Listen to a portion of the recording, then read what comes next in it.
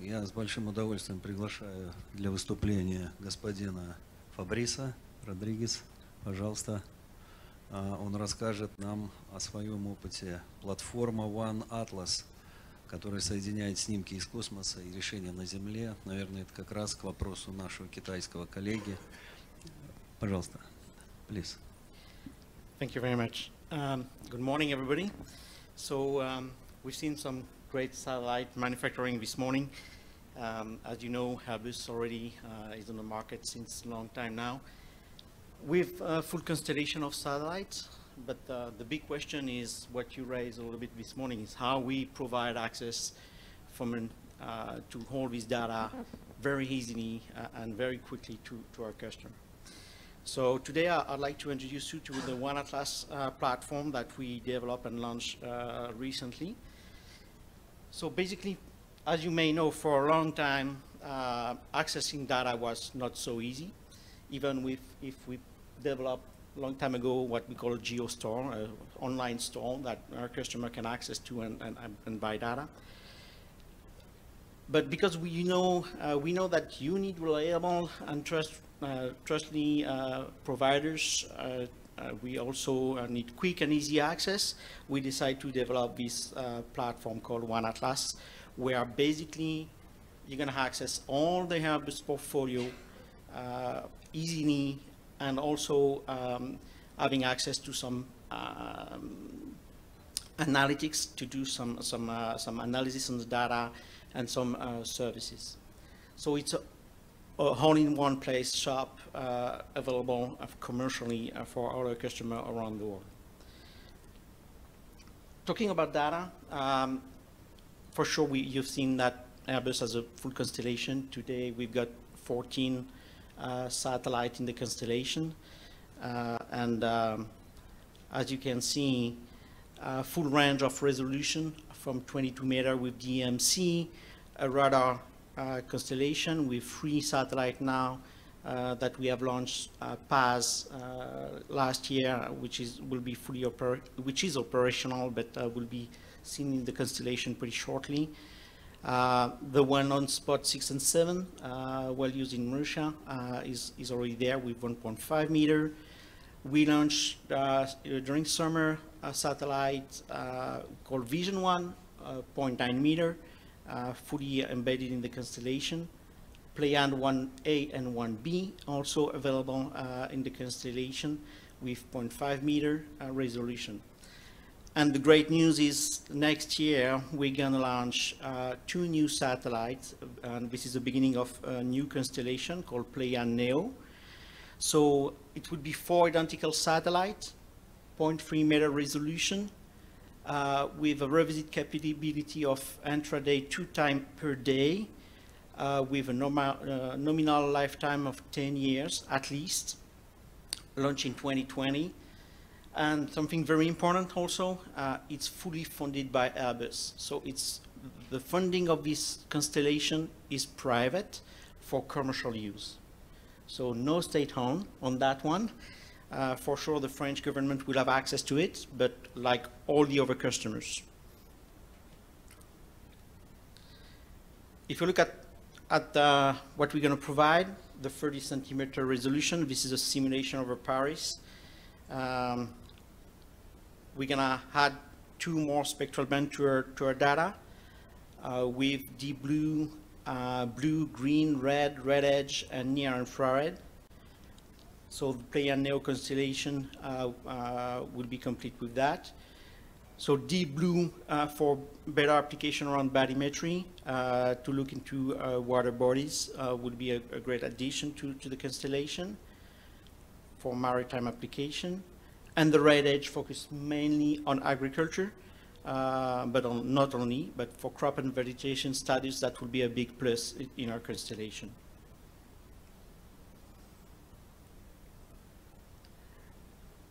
One of the key feature of this constellation also uh, will be this agility of the, of the constellation. Um, we'll be able to capture mono, but not only stereo and three stereo data will be captured along the way uh, with a large swath of 14 uh, kilometer um, to be able to capture a lot of data uh, during the day. And if we look at the global capacity, uh, up to 2 million square kilometer every day will be collected, and in a single pass, we'll be able to collect 7,500 square kilometer uh, in, in, in one pass.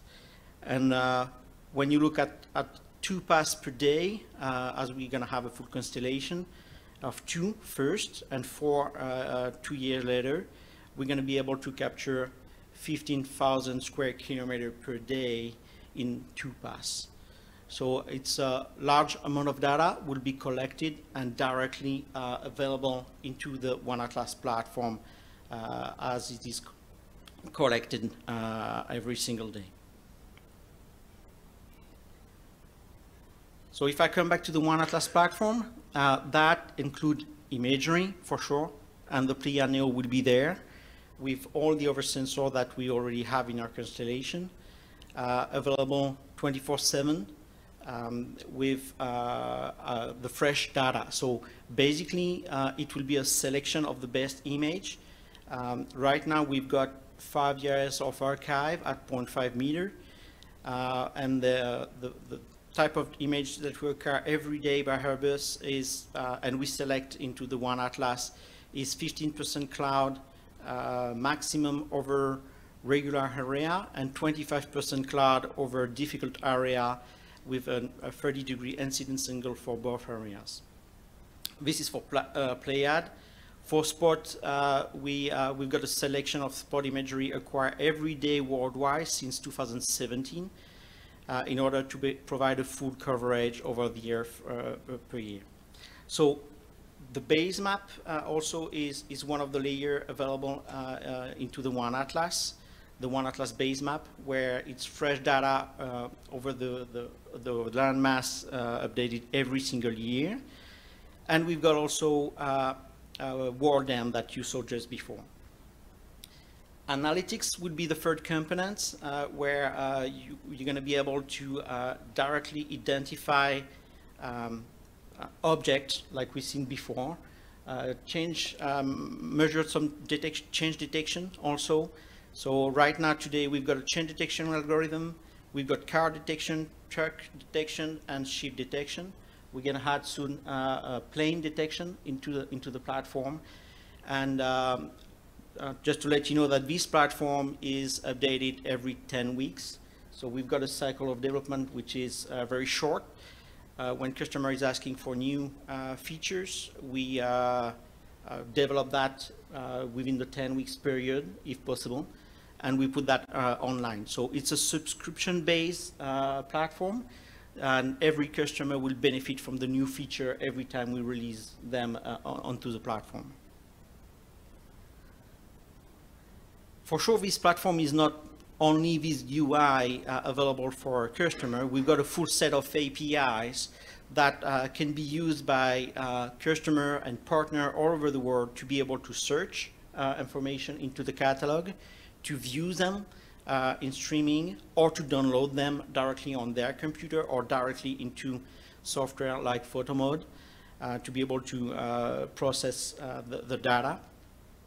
But not, not only that, uh, you're going to be able to task directly the satellite from your environment, um, uh, which is already uh, feasible through the GeoStore, but now we give access to uh, through this API to our customer to be able to uh, request imagery.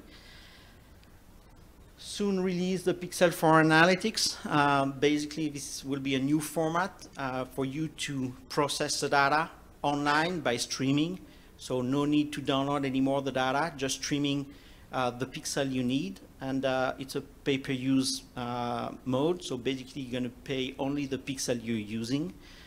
Uh, so that's a big change also in the business model. And the analytics toolbox will give you access to all the processing function that we have uh, in, into the, the platform. So in addition to that, we uh, develop and we give you the capability to access our, our, SDK for mobile application. And if you want later on, I can show you on my mobile phone that you can access right away all imagery from Airbus right there. And um, I can invite you to go into our uh, developer portal, which is free uh, for sure. Uh, so you can access there, access the API, uh, get access to all the documentation here to develop your own application based on this API.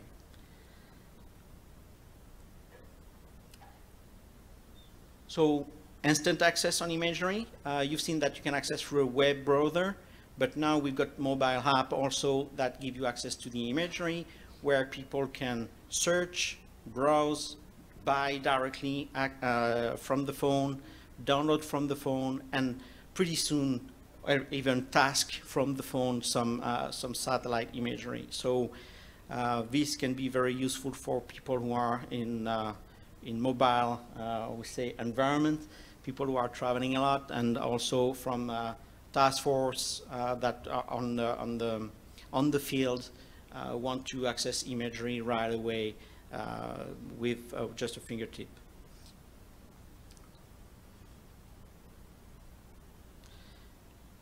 So another example here is the integration of uh, the access to the One Atlas platform and Airbus imagery uh, through Photomod directly. And I've got a small video right here. So this is an example of what uh, Racurs developed here inside the Photomod where you can access directly uh, our One Atlas imagery within the tool. Um, that's the first version of the uh, plugin uh, that uh, is available, will be available in one of the next release of, of the Photomod platform. So you can see here that the image is uh, uploaded um, and uh, that they're going to focus on where we are at the moment. So this is the hotel where we are today. And uh, you can activate or deactivate the layer. And you can see here the layer of, of one atlas is available uh, directly into the Photomod application. So processing is right away uh, available here without asking uh, one of the distributor to access the data buying the data uh, uploading the data into the software and, and then processing so it's much more quicker a direct access to, to the platform here All right, hold on. I can have a mouse.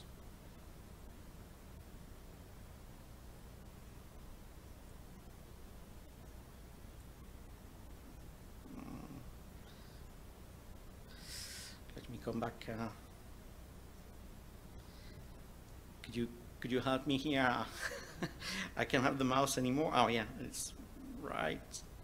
Could you close the video, please?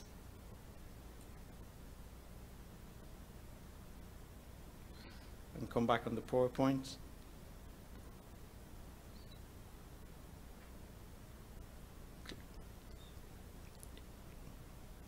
Yeah, thank you. So that was one of the examples here. Um, so you've seen key benefit of One Atlas and uh, uh, quick and easy access to all the imagery that Airbus is providing. And remember that you've got access through Airbus also to some satellite partner. Um, so you discussed earlier about Russian satellite. They are not in our constellation today, but we've got other uh, partners around the world that uh, we've got agreement with, and we give access to, to their uh, satellite uh, through our platform. So it's a pay only what you need uh, kind of usage. Um, so with minimum um, area, which is much smaller than in the past, you can just buy uh, one square kilometer, and you're going to pay only for that. It's fresh data. Uh, every single day we are collecting data all over the world, and it's uploaded directly into, into the platform. And it's flexible uh, because you can access through the web, you can access through your phone, or directly from the application that you guys develop and you are using on a daily basis.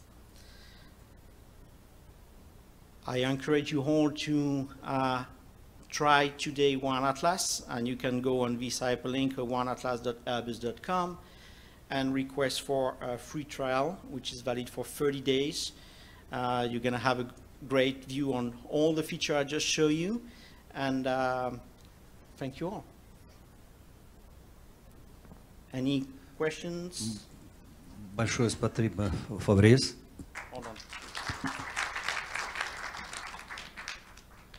Можно первый вопрос э, ко всем участникам дискуссии. А презентации ваши свободны? Э, можно скачать или э, носят какой-то закрытый характер? Презентацию. Yeah, it's, it's public. Спасибо. Еще один вопрос уже после. Ага. Видео можно включить сейчас, посмотреть. No, it's all right. Насколько я знаю, в Европе существует э, давно и создана, и модернизируется, и расширяется инфраструктура пространственных данных. Вот э, вы как-то встроены в эту европейскую систему или инфраструктуру пространственных данных Франции э, со своими сервисами и услугами? Или вы как бы отдельно это существует, как разные э, технологические платформы, разные цифровые платформы? Или все-таки эта связь вот путем А- А- API, она осуществляется? Yeah, uh, you're right. There, there's several initiatives in, in Europe uh, to develop platform. There's one from a European Space Agency called Copernicus, and we are one of the big data provider for this Copernicus program. Um, they are using our API uh, also to access data.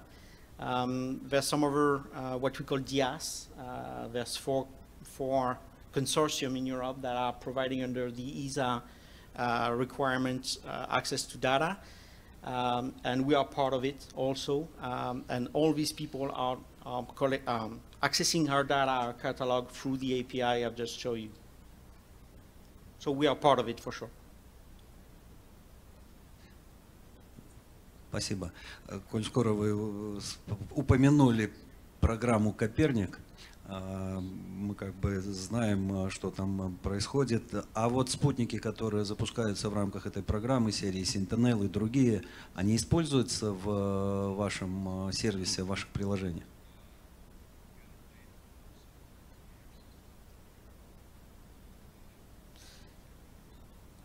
Uh, No, I mean, uh, I mean, the, the, the Copernicus program is European program. We provide data for them to use, but we are not, uh, on the other way, accessing the data for commercial use.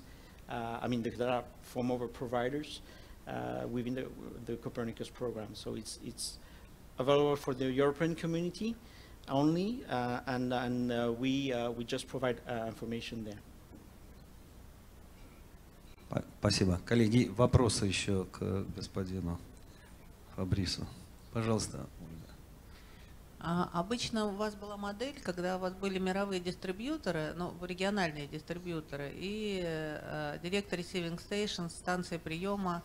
Вот эта программа One Atlas, она не входит в противоречие с э, моделью эксклюзивных дистрибьюторов по региону?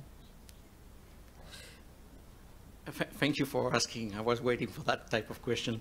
Uh, Not at all. To to be honest, um, um, even more, uh, we've seen that the- all the One Atlas sales that we've done uh, since the launch, uh, beginning of the summer, has been done through the the partners. So um, we are counting on our partners to uh, integrate, resell, and give access to their customer to the One Atlas platform. So that's why API is made for. Uh, Racurs uh, did a good job integrating the APIs for the, the Photomod community to access our data For sure, there's a subscription model in the back, uh, but we are not accessing directly the customer. So today, we are not targeting Russian customer directly, for example. Uh, it's only through partners, and the partners are reselling the, the One Atlas uh, platform to, to the community. И, и еще один вопрос. А, а сколько у вас уже подписчиков? How many uh, subscriptions do you have for this platform? Uh, to, to be honest with you, uh, the launch was done this summer. We don't have a lot at the moment, uh, and I don't have all the figures in mind. I know that we, we sold a large coverage to, to through through my network. I'm in charge of the network, so I don't have direct sales um, uh, information here. But it's just a starting. Um, all our customer and partner need to uh, cope with this new model of consumption. So it's it's a change also in their process. So it would take a little bit of time. Спасибо. Да, пожалуйста.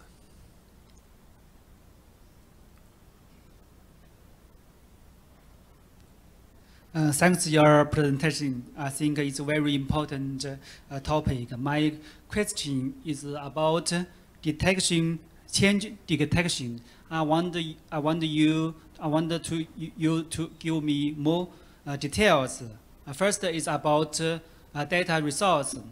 Uh, if want to get change detection, uh, or data source just from your company or uh, the world uh, satellite image can use? The first question. The second is about accuracy we can get now. The third is about the work time. for example, if I want to get one kilometer, one kilometer change detection, we should how many times? Thank you. Thank you for the question. So um, the data that is, is, used in change detection. So first, we've got several algorithms in change detection into the platform. We've got one developed by us uh, as, as, a first step, and we've got one developed by a partner. So in the platform, we integrate partners' algorithm uh, within the platform to uh, to leverage better uh, processing um, and so if, if you guys are, are willing to push us some good things based on revenue sharings, we, uh, we integrate them and qualify first them into the platform. So the data that is used uh, in the back is, is mostly Spot and Pleiades.